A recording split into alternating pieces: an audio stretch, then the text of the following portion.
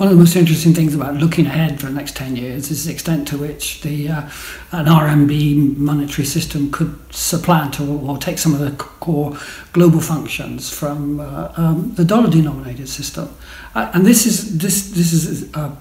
a, a, key question, really, because a lot of people are seeing the rise of uh, the RMB uh, denominated system, certainly in a regional way, as one of the key aspects challenging the uh, the United States. Um, what we've seen through Trump is the supposed weaponization of the dollar payment system through uh, Iran, um,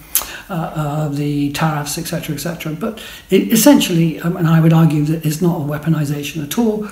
Uh, this has been inherent in the international monetary system right from the start, when when the, the uh, de facto dollar exchange system was set up. But we have a huge question to the extent to which the um, the Chinese RMB will be able to uh, supplant the uh, uh, dollar denominated system. Uh, within this, uh, my short answer would be that it's going to take much longer and it's going to be a much more complicated case than, uh, than most of the commentators at the moment would, would actually suggest. And this is because commentators generally, and economists in particular, have underestimated the structural power of the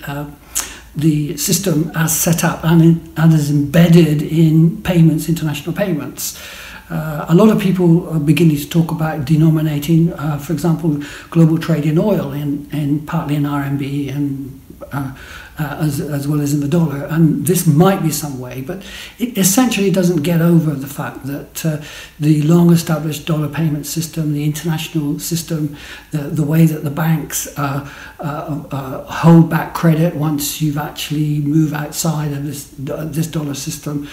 is actually still totally and utterly dominant. So, next 10 years, I suspect, we will still have a US dollar denominated system despite uh, any efforts and, and, any issues that uh, might come forth uh, as a challenge uh, from the RMB.